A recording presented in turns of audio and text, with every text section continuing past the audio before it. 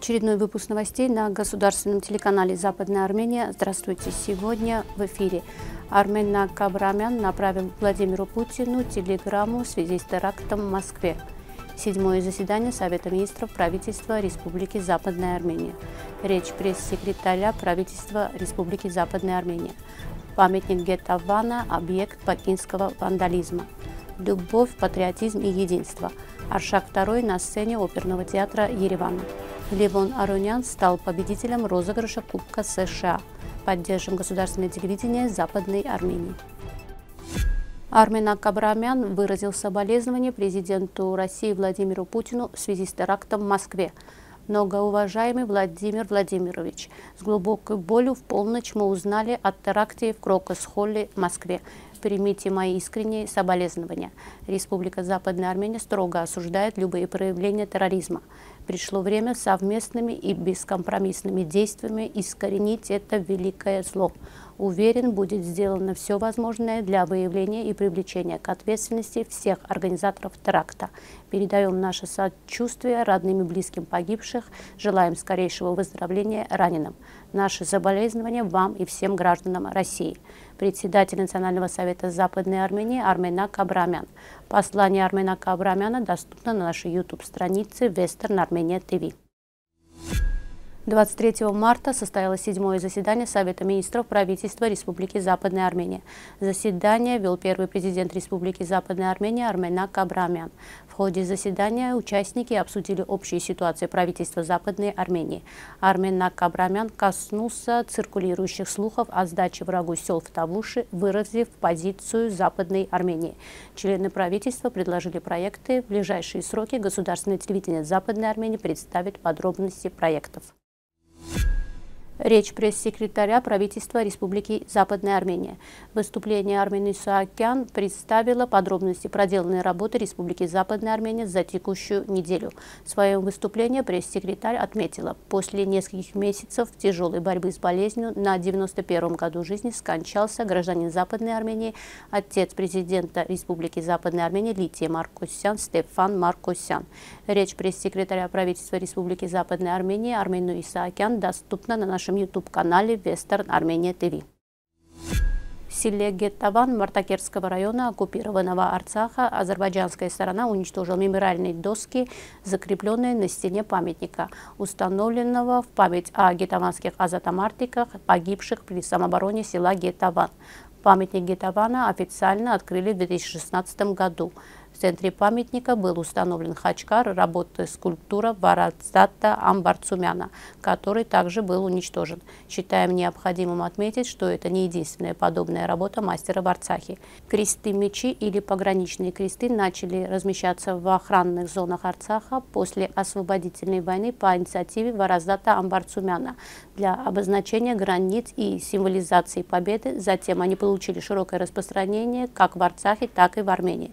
Между Международный суд подтвердил, законы, действующие на оккупированных территориях, включая положение о защите культурных ценностей, приобрели статус международного обычного права, то есть действуют как универсальное необратимое правило и являются обязательным для всех государств.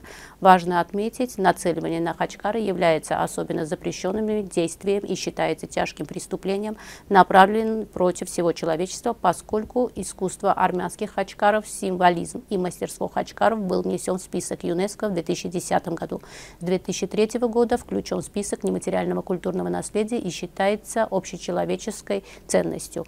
Культура хачкаров имеет дополнительную защиту во время и после войны. В соответствии с Гаагским законом 1954 года о защите культурных ценностей во время вооруженных конфликтов, дополнение Конвенции 1999 года, согласно принципам принятого второго протокола, вся культура хачкаров имеет усиленную защиту и любой нанесенный ею ущерб, согласно пункту А 15 протокола, является серьезным нарушением, которое может преследоваться в международных судах как военное преступление. Любовь, патриотизм и единство. Аршак II на сцене оперного театра Еревана. События оперы константинопольского армянского композитора Тиграна Чухаджана Аршак II разворачиваются в королевстве Армения в 365 году. Король Аршак II, победивший в войне, возвращается в столицу Армавир, там сталкивается с беспорядками в собственном королевстве. Оперное представление впервые было поставлено в оригинале на итальянском языке и представлено без сокращений в Ереване. Премьера спектакля состоялась 22 марта в Национальном академическом театре оперы и балета имени Александра Спендяряна. Аршак II любит свою родину, мечтает о создании единой и сильной Армении, но он груб и жесток как с отцом, так и с братом, женой и невестой брата. Образ Аршака II представит Арман Аракелян. Это его первая большая роль. До оперы «Аршак II» Арман Аракелян выступал в спектаклях «Кармен» и «Януш». По его словам, это большая честь и очень ответственно быть первым исполнителем Аршака II. Спектакль прошел с аншлагом. Присутствовали представители старшего поколения и молодежь. Публика проводила актеров под бурные аплодисменты, восклицая «Браво!». Бывший лидер мужской сборной Армении по шахматам Левон Арунян, который сейчас выступает под флагом США, стал победителем розыгрыша Кубка Америки. На розыгрыше Кубка, проходившем в американском городе Сент-Луис, Арунян в суперфинале встретился с Уэлси Со. Арунян добился преимущества со счетом 2-5-1-5. Я рад победе в розыгрыше Кубка США. Очень устал, но доволен. Спасибо всем за поддержку, написал Лемон Арунян на своих страницах в социальных сетях. Уважаемые соотечественники, телевидение Западной Армении не занимается саморекламой. Руководство Западной Армении, оставаясь верным своей идее и принципам, продолжает посредством телевидения и других медиаплатформ по-новому представлять различные события, связанные с историей, настоящим и будущим нашей страны. Информирует о политических, общественных событиях правительства, также дает возможность ближе общаться друг с другом. С помощью нашего телевидения вы можете установить прямую связь с правительством, членами Национального собрания, поднять все волны волнующие вас вопросы, которые напрямую связаны с Западной Арменией и ее гражданами, а также выступить с различными интересными предложениями.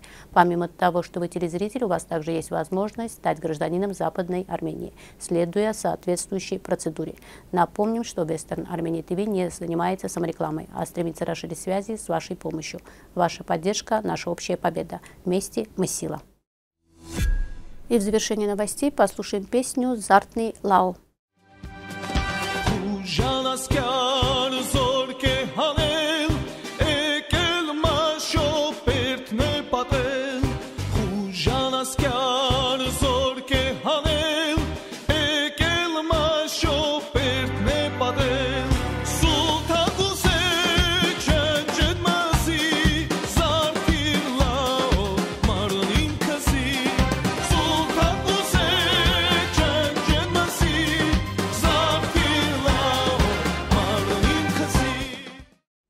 Такими были новости на сегодня. Мира вам и добра.